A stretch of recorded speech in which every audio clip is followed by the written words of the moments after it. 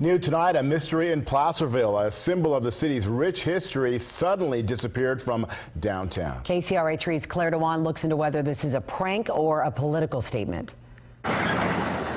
Placerville is a place where remnants of the past are proudly displayed. And downtown is much like a rich serenade to history.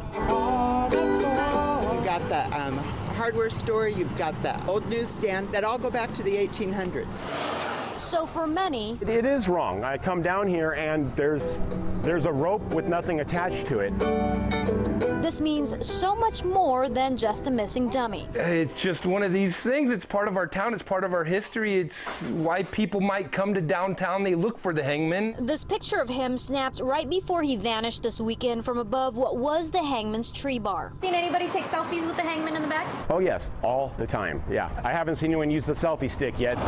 This historical spot on Main Street marks where criminals once met swift justice during the gold rush days.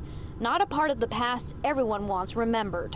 They're not from Placerville. They don't understand our history. It'd be like going to London and not liking the, the clock or something. Theories about the hangman's disappearance abound, from it being an act by those who disagree with the display, to a teenage prank, The high schools like to steal them.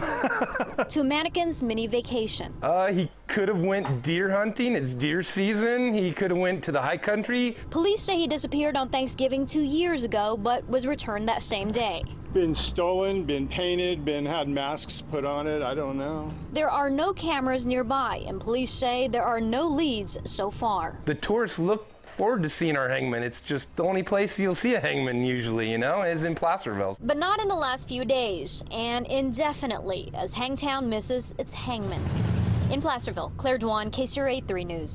The building's owners tell us they recently made repairs to the hangman's hand, arm, and face. They're looking at finding better ways to secure him once and if he's returned.